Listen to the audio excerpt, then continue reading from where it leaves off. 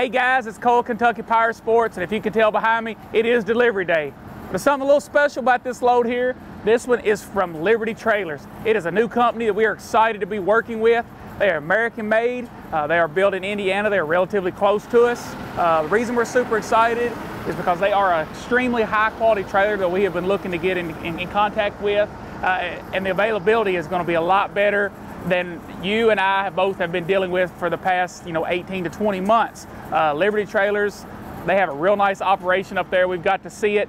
They make dumps, goosenecks, deck overs. They make car haulers, utility trailers, uh, equipment trailers, and we just unloaded quite a few here. Uh, we're going to have more. We're going to be able to take orders. If you guys are looking for some specialty trailers or you're looking for something that fits your business needs, come on down to Kentucky Power Sports. You can speak with me. You can speak with Dane.